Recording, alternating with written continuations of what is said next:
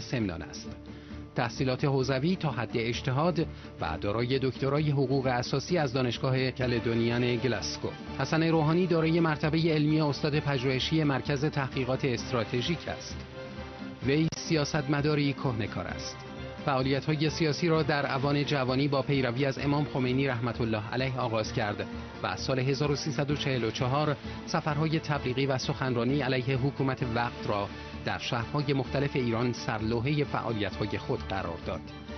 در نخستین این سفرها از سوی ساواک بازداشت شد و این موضوع بارها و بارها تکرار شد. وی بعدها در سال 1356 به توصیه آیت الله بهشتی و آیت الله متحری برای در امان ماندن از ساواک از کشور خارج شد.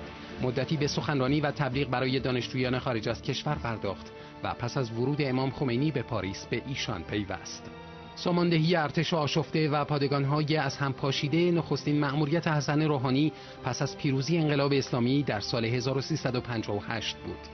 سال 1359 به عنوان نماینده مجلس شورای اسلامی فعالیت‌های سیاسیش را پی گرفت و در پنج دوره قانونگذاری مداوم نماینده مردم در مجلس بود.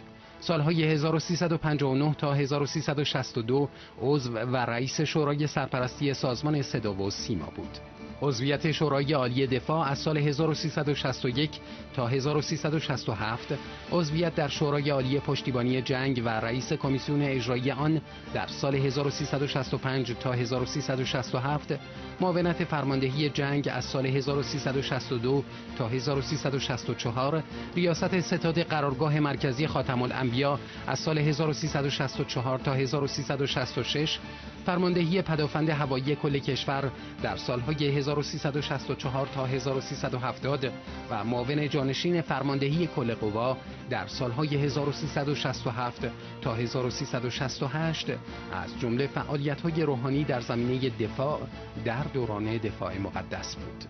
ای ایلام ای کرمانشاه ای آذربایجان غربی ای کردستان ای جای جای جبهه تو شاهدی که این سرداران از این قرارگاه به اون قرارگاه از این خط مقدم به اون خط مقدم از این پایگاه به اون پایگاه از این مرکز به اون مرکز دویدن با افتخار دویدن.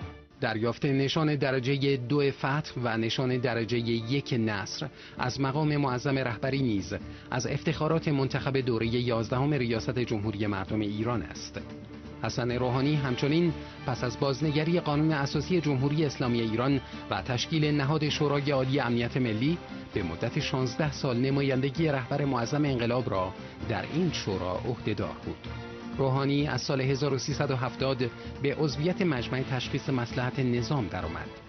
به همچنین سالهای 1382 تا 1384 به عنوان دبیر شورای امنیت ملی و رئیس تیم مذاکره کننده ارشد ایران با سه کشور اروپایی آلمان، فرانسه و بریتانیا در مورد برنامه هسته ایران بود. در این دوران به علت شرایط سیاسی امنیتی و تبلیغاتی شدید غرب بر علیه ایران، روحانی تاکتیک خود را بر گفتگو و اعتماد سازی استوار کرد. مسئولین جمهوری اسلامی ایران اصرار میورزند بر اینکه فعالیت هسته‌ای ایران صرفا صلح آمیز بوده و صلح آمیز خواهد ماند.